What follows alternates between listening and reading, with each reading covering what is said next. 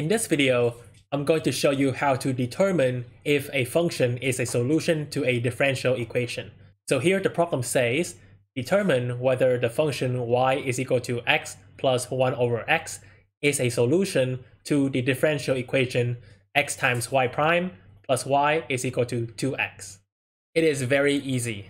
So all you have to do is put the left hand side into this column and the right hand side into this column. So you see 2x over here and x prime plus y over here. And you just substitute y into the equation and see if both sides are the same. And if they are, then this function will be a solution to the differential equation. So let's go ahead and do that. We have x times y prime. We don't know what y prime is, but we'll find it in a second. Plus y. And what is y? y is x plus 1 over x. So x plus 1 over x. Let's go ahead and find y prime. So y prime is the derivative of x plus 1 over x. And let's just write it as x to the power of negative 1. This will give you 1 plus, we bring this negative 1 down, we have negative 1, x to the power of negative 2. And this will be 1 minus 1 over x to the power of 2. And we substituted y prime back into the left hand side. Now, what will this be? This will be x minus 1 over x plus x plus 1 over x. And as you can see, these two will cancel out, and this will give you 2x. And because the left-hand side is the same as the right-hand side, then the answer is yes, this function is indeed a solution to the differential equation. Let's do one more example and feel free to pause the video and try it yourself.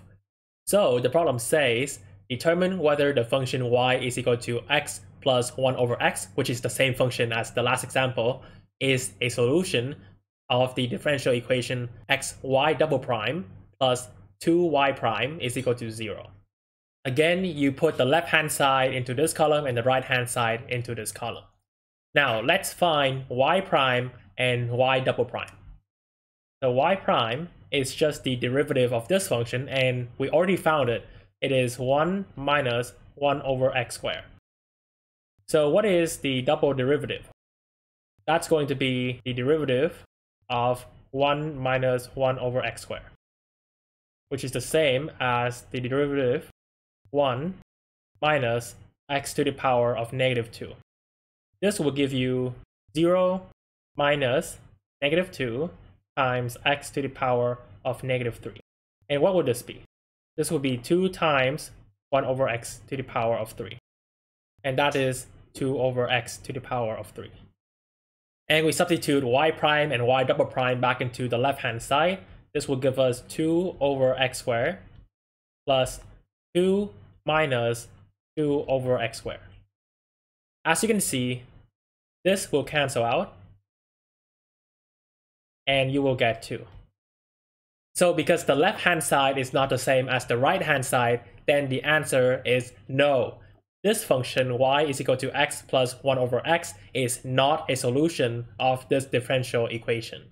And that's basically it for today. If you guys enjoyed this video and found it helpful, don't forget to subscribe if you haven't already and also share with your classmates.